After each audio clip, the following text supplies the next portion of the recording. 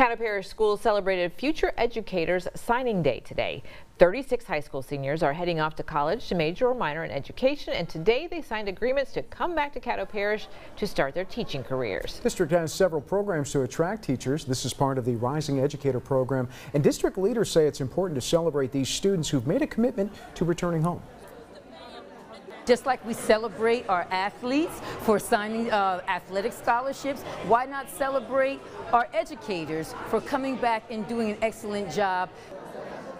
These rising educators will start at a higher salary and receive a $1,000 starting bonus. You can find out more about the teaching incentives in Caddo Parish at ktalnews.com. Okay.